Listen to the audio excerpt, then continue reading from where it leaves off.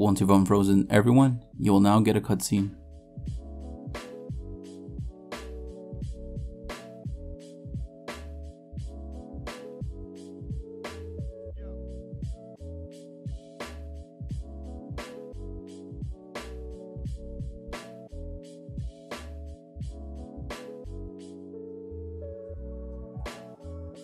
For the last subquest, you must defeat a boss.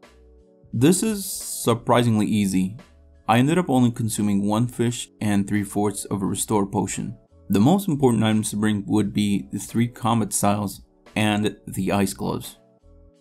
I recommend primarily using magic as most of the monsters will be weak to magic in general.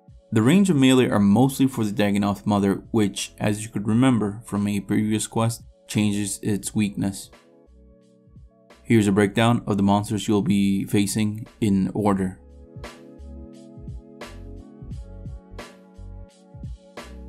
And the last boss is just a pushover.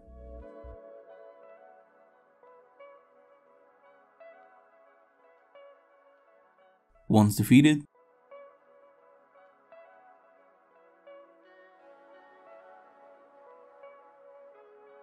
quest complete.